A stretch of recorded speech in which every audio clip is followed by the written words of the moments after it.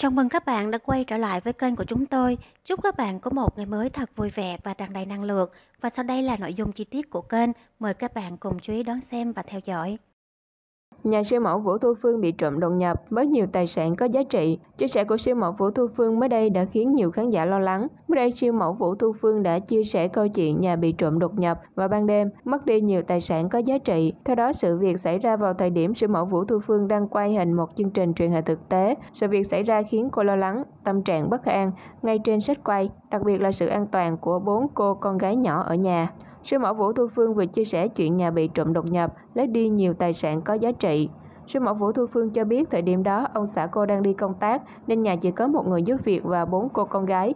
Chúng vào nhà tôi lấy trộm hết những món đồ có giá trị ở tầng trệt như máy ảnh, laptop, rượu quý. Tôi nghĩ hôm đó chỉ là buổi thấm tính thôi, nhưng mà những điều quan trọng những điều đó tôi không quan trọng, tôi chỉ quan trọng bốn cô con gái ở nhà thôi. Vì thế khi tôi đi quay đêm thì cầm điện thoại suốt để xem tình hình ở nhà. Sư mẫu Vũ Thu Phương lo lắng cho sự an toàn của các con.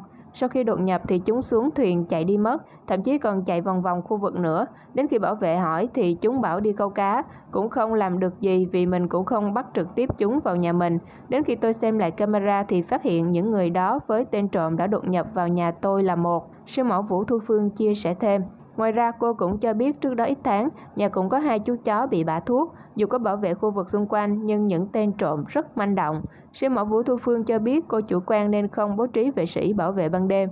Đợt bị trộm đột nhập vừa qua, tôi hơi chủ quan là không bố trí vệ sĩ vì nghĩ rằng khu vực đó có sẵn, mà khác khu vực này chỉ có vệ sĩ ban ngày chứ không có ban đêm.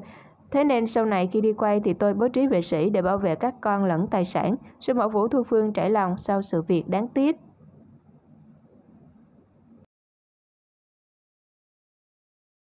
Bản tin của chúng tôi đến đây đã kết thúc. Cảm ơn các bạn đã quan tâm và theo dõi. Hẹn gặp lại các bạn ở những bản tin tiếp theo.